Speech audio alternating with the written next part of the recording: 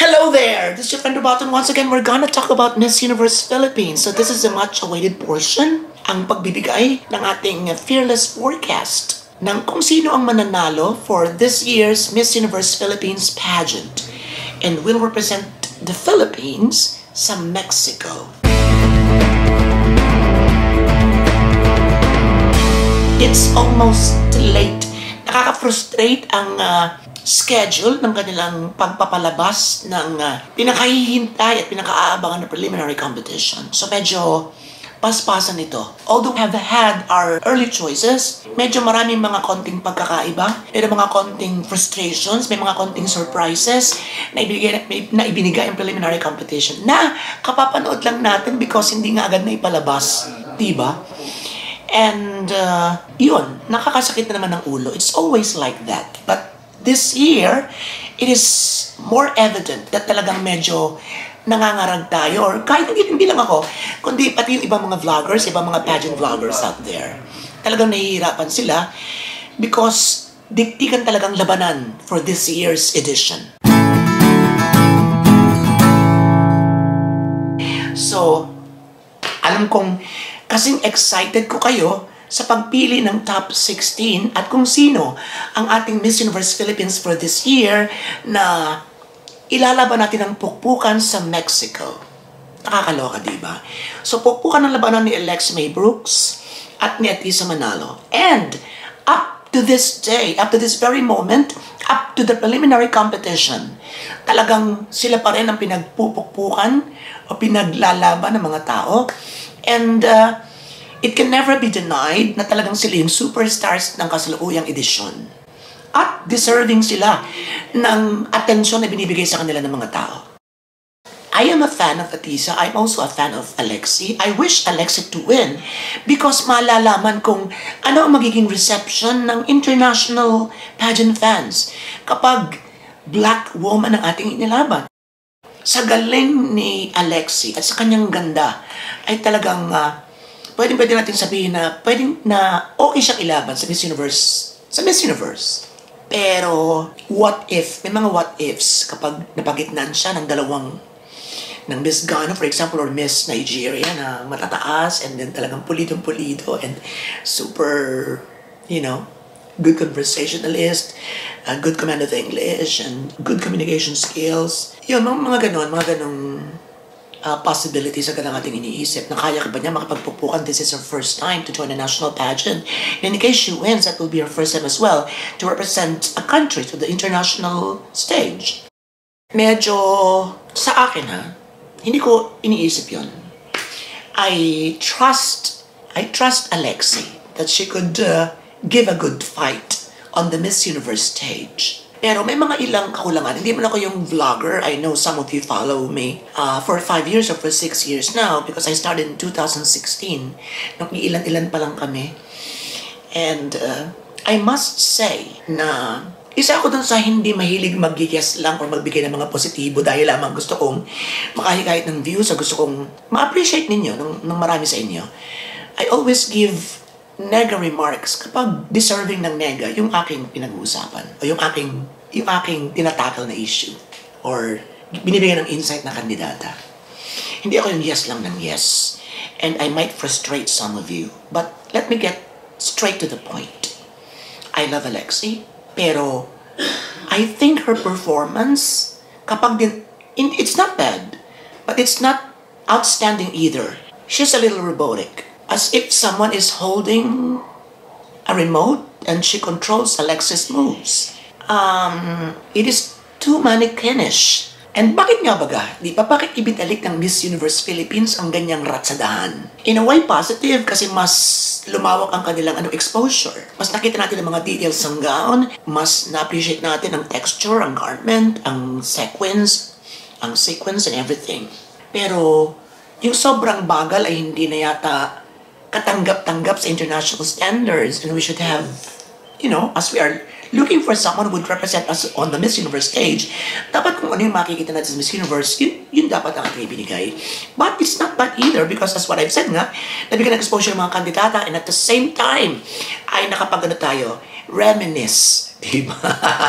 nakabalik tayo sa past. Na-miss din natin yung mga ganong galawan, di ba? Parang may hinahanap na piso bago humarap sa audience.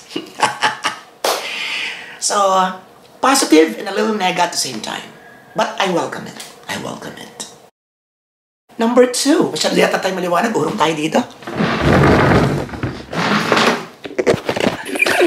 Ayan, so urong tayo dito ng konti. Yun. And yung pababa ng, ng stage, yung kanyang paglakad pababa ng stage, yung tipong akala mo magkakaroon siya ng konting ethnic dance number. so, hindi ko masyadong nagustuhan ang execution ng gown. But when I saw everyone who did the same thing, ah, na-appreciate ko ng konti.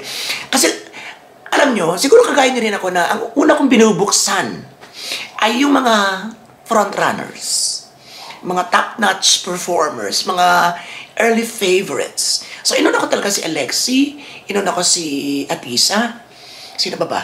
Miss Cavite, Miss Tagig, Miss Baguio, yun, to name a few. And medyo yun, nawala na konti yung frustration because everybody did it anyway. And kung pagbabasihan yung performance ang kabuuan ng lahat, in total, eh, pasok na pasok pa rin siya, suwak na suwak. For the swimsuit, no doubt, isa siya sa top performers. Magaling siya, ang ganda-ganda ng katawan. Hindi masyadong kaay-ayaw ang kanyang mga katuhuran at ang kanyang kabuuan ng kanyang legs kapag nakaharap.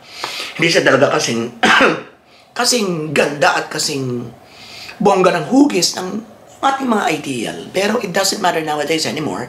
And anyway, dahil yung physical beauty naman ay tal- talagang ipina, pinapangalawa na, na lamang natin sa personality, sa what's in her mind, what can she say about the world, and about changes, about progress, about femininity, mga ganun na, di ba?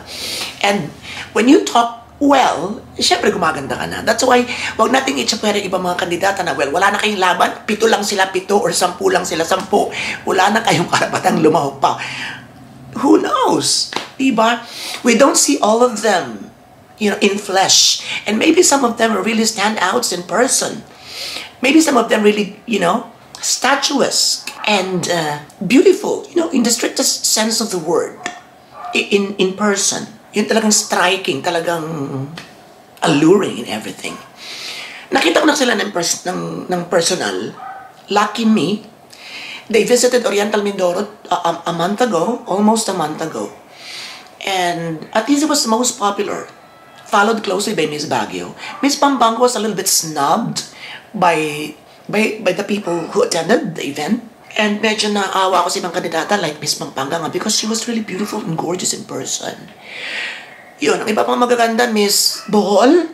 Ah, sino pa ba? Miss Pampanga wasn't that striking, but she has she's very promising. Especially, I saw her already talking, and I think she can make it. You know, in at least in the top 16. Who else? Miss Manila was pretty. When we talk about what pretty face is, then Miss Manila is surely in. And maganda talaga siya. As yung magandang gusto talaga ng mga Pinoys. Mestiza, maputi, malamlam ang mga mata, yun na yun.